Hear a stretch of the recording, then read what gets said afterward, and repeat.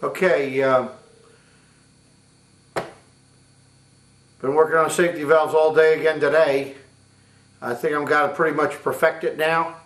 Uh, Mike Massey mentioned something about that this one, the one I showed yesterday, hisses a little bit, then it pops and reseats. Well, there's some really fine balances here that I'm finding out about it, you know. And uh, so today I went down to McMaster-Carr, and I'm lucky enough to live five minutes from the main distribution place, so I call them up and order it, and then I get it. Anyway, um, I got a gauge here that's 160 range, 0 to 160, and each line is a two, two, uh, two pounds. So it's all pretty accurate. I rigged this up with the gauge at this point, and then I have the valve here and I can shut it off.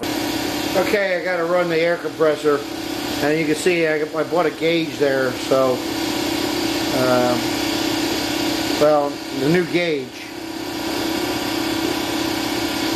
Now I'm built. Now I'm building up the air, and what I'm going to do is when it gets pops off, I'm going to shut it off. But it reseats. I'm going to uh, turn it back on, and, and you'll see the cycling. It'll cycle itself. Uh, it's going to pop off roughly at around 120. This gauge is plus or minus 2%. So. Going over to the breaker.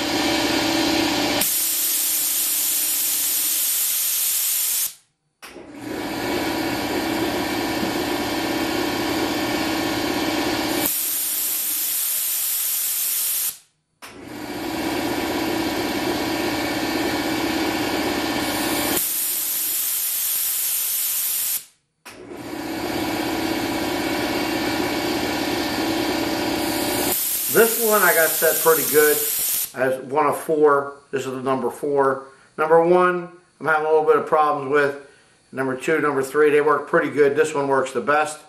The other one's leave off um, maybe six pounds, five pounds. So I'm trying to figure out what the idiosyncrasies of each individual valve are.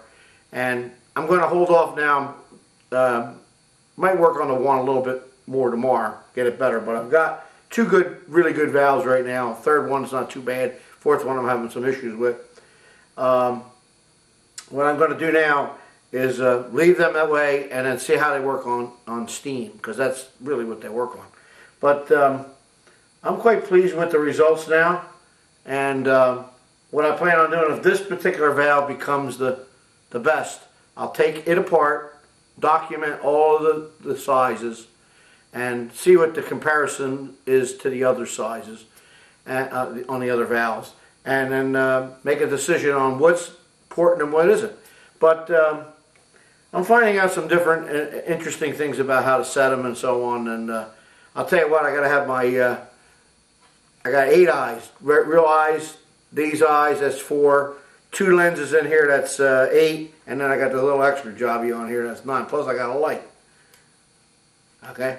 So that, that, helps. What you know, seeing the stuff when I'm mostly doing the machining, picking up the little fine surfaces, uh, just picking them up very carefully and just taking a thousand off. So um, uh, um, that's what I've been doing today, and uh, it's getting there slowly. And uh, I'm very confident that I'm going to make a successful valve, and um, hopefully it'll uh, work out for everybody. So um, that's the update for now. Um, probably uh, final update will be at the steam when it's, when it's on the steam and we'll see how that goes on Sunday.